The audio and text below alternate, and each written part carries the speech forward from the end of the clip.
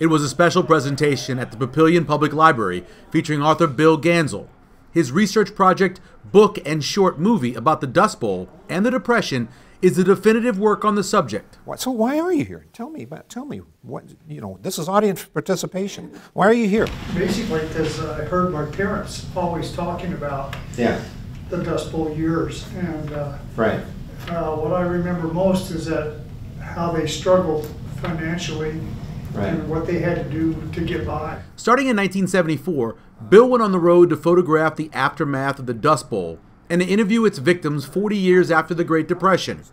What came out of that project is the Dust Bowl descent. born in 1933, so I was through all of that. My mom put wet Right. sheets on the windows to keep the dust down. Did it work? Well, it didn't help. My dad lost a farm, but we gained it back. So. Did your family leave? No, no, no. They You wouldn't stayed. leave. Right. Yeah, they were pretty persistent. When were you born? if I can ask. 32. Thirty-two. But she's a year older than me. Yeah. Bill used the photographs taken by Look magazine in the 1960s as a roadmap for tracing the cause, effect, and aftermath of the Great Depression and Dust Bowl. Pushed them to produce an encyclopedia of what it was like to live through the Great Depression. He knew that photo- photographs could in, could grab that what was happening. And my contention is that pho- that big historic events don't really matter unless they affect the lives of you and me. And the Great Depression affected so many people.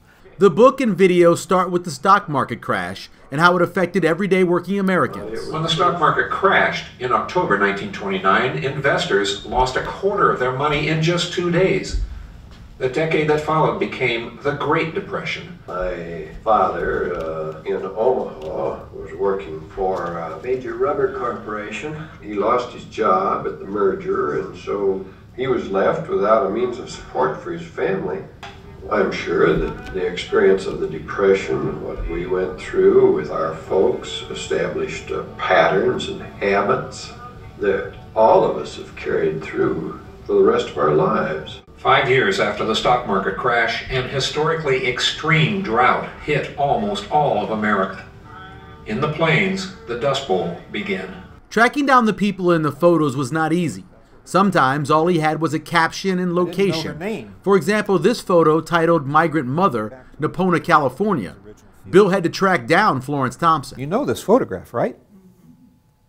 You've seen this photograph because it is published everywhere. It captures that sense of desperation. For other photos, no matter how hard he tried, he had no luck tracking down the subject. Deadwood's not that big a town, right? You would think that somebody would remember that face. No one did. In the end, Bill Ganzel, a person who has been working or talking about the Great Depression for nearly 50 years, asked an ominous question. Could there be another depression? Yeah. Yes? Yes? Yes? Yes? Who else? Anybody want to argue with this? No one? This is a pessimistic lot. our society now, if if something like that were to happen, I think people in general are are looking out after themselves and probably a lot more violent. Historians who say that if FDR had not made the changes he had made, that we would have faced a revolution. That the desperation was that deep. And one great example of that is what many of the kids in farming areas wore during that time. And the companies realized pretty quickly that sacks printed with attractive patterns would sell better to farm wives who could make clothes from them.